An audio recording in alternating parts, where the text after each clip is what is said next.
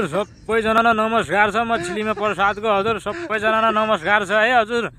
अब के गर्ने यसपालिको दसैँ जसो तसो भयो नि मनाइयो गाँठे अब के भन्छ दस बिस रुपियाँ सय रुपियाँ दुई सय रुपियाँ जम्मा भइरहेको थियो अलिअलि त्यही गरिन पनि दसैँ मनाइयो। अब अर्को पालिको दसैँ मनाउनु पर्ने होला फेरि हाम्रैसँग के गर्ने? हजुर हामी गरिब न त। दसैँभन्दा नि दशा लागे जस्तो भइगयो सिमलाकै स्याउको सिजन लगाइन ल्याए गोरा चार एक हजार आइसी पैसा पनि टिको लगाइ सिद्धिजाने भए मान्छे अब लाइन लाग्नु लागेको टिका लाउन लागे। के गर्ने हो? हजुर फेरि अब सिमलातिर अनि ढुङ्गा माटो काम गर्न जानुपर्ने होला। फेरि स्याउ स्याउका तिनी पौधा खन्नुपर्ने होला। हग्ने गरे टिको लगाइने यता पैसा छत्यनाश गरेर आछन् बिथा त। म त के भन्नु सक्दिनँ बिथा त।